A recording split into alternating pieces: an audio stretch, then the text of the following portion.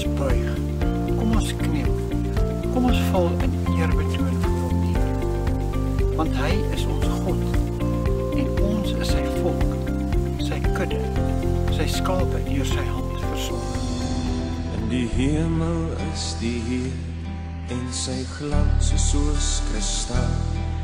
Hy's die heilige van God en hy heers oor die heelal. Daar is mag in sy woord, soos die waters dryf sy stem, soos die son op die see se blou, so die rykdom van sy troon.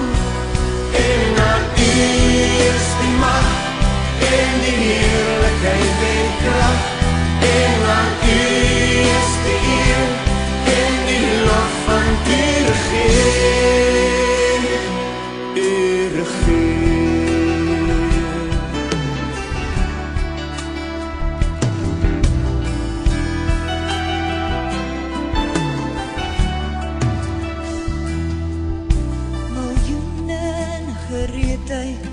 staan die engele om sy troon.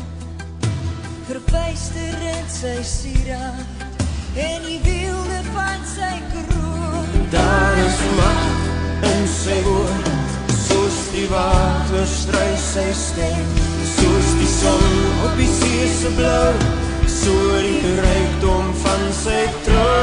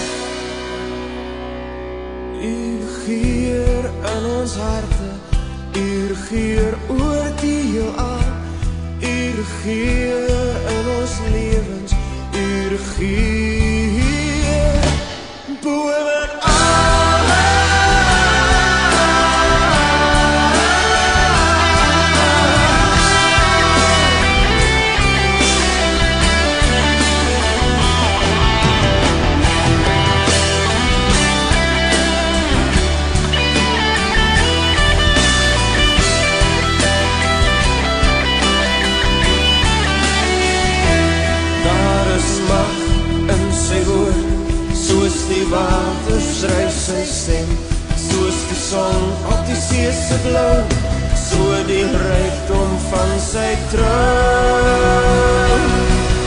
Aan U is die mag en die heerlikheid en krag, en aan U is die eer en die lof van U regeer.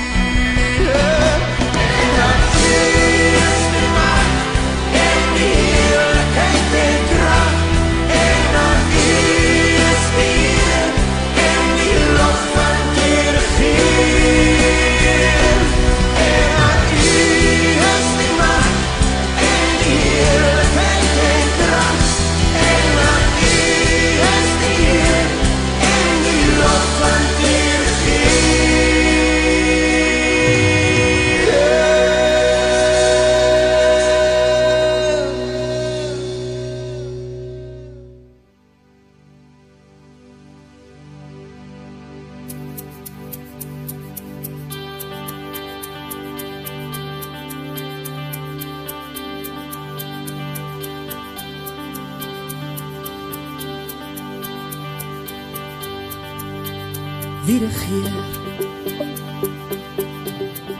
Wie is in beheer? Wie's die begin en die einde, een wat is, wat was en wat kom? My hart wil sing.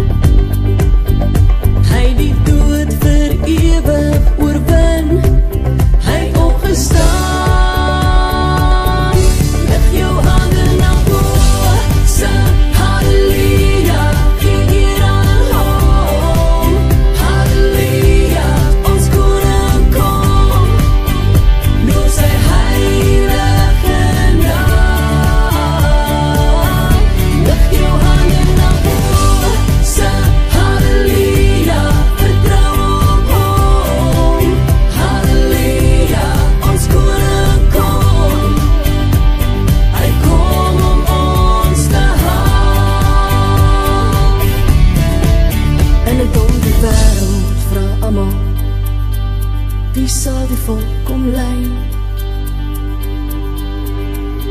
Maar dis die regter op die perd, hy kom, hy kom vir jou en my. Lig jou hande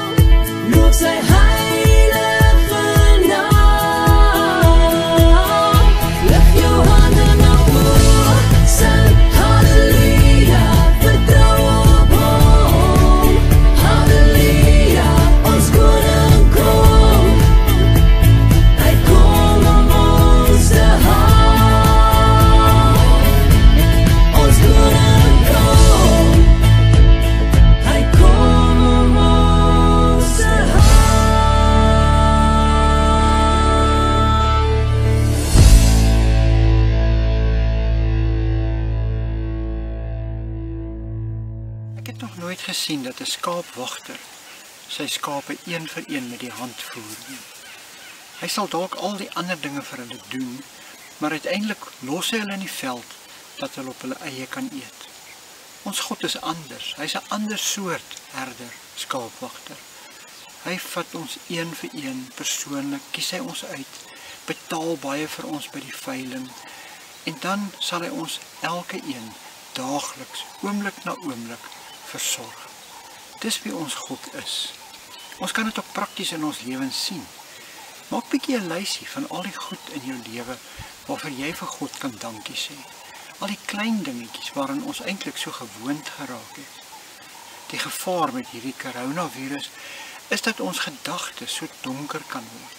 Ons kyk net na die virus en na die aardige gevolge daarvan in ons lewens en in ons samelewing. En as ons na as hierdie virus so lewensgrootte donkerte in ons lewens bring, dan vergeet ons van al die lig wat God in ons lewens inskyn. Maak 'n lysie daarvan en lees dit elke dag in die oggend of in die aand en onthou dat God vir jou sorg. Die Israeliete van wie ons in Psalm 95 lees, was op 'n kol in hulle woestynreis by twee plekke met die naam Massa en Meriba. En daar het hulle 'n tekort aan water en kos ervaar. Hulle het vreeslik gekla en hulle het vir God eintlik uitgetart, so sê die Here dit self. Hulle het nie meer geglo dat dit God is wat vir hulle sorg nie.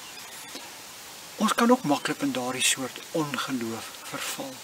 Die Israeliete, lees ons in Psalm 95, het op hulle woestynreis het hulle dieselfde ding oorgekom. By Massa en Meriba het daar was daar 'n tekort aan kos en aan water en het hulle by God begin kla en uiteindelik gedink dat God hulle nie regtig meer versorg nie. Alhoewel God hulle uit die slawerny van Egipte verlos het. God was eintlik baie kwaad daaroor. Soveel so dat God hulle wou straf. Hy wou hulle heeltemal uitroei. Maar hy kon dit nie behoorlik oor sy hart kry nie. Want hy is te lief gewees vir hulle. Daarom het God in Jesus homself gestraf. Dit is wat gebeur het aan die kruis. Toe Jesus daar met sy lewe betaal het vir ons skuld en vir ons slawerny aan die sonde. Moenie ophou glo nie.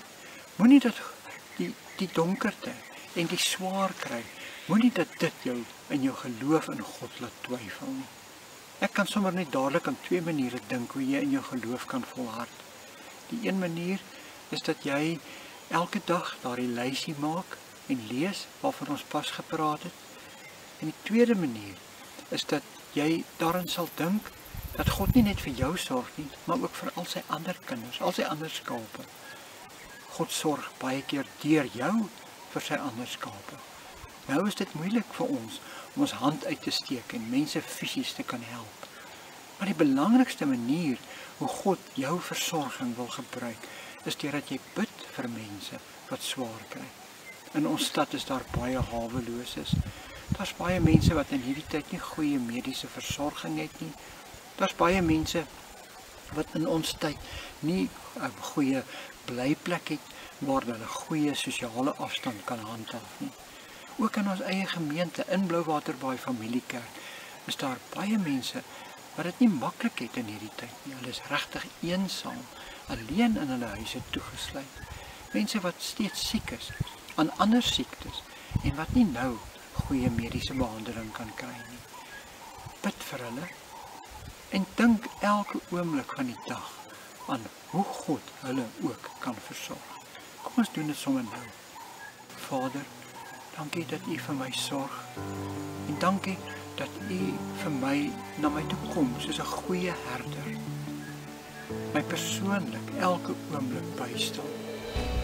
Sal U dit asseblief ook doen met die, al die ander mense in ons stad, in ons gemeente in Blouwater Baai Familiekerk. Sorg asseblief vir ons. Maar ons bid ook vir die mense in ons stad wat nie genoeg versorging het. Sal U hulle ook vashou en vir hulle uitkoms en blydskap in hulle lewe bring. Daar is ook 'n lidmaat in ons gemeente wat positief getoets is en ons bid vir hom en vir sy gesin dat U hulle ook sal bystaan en vir hom genesing sal gee.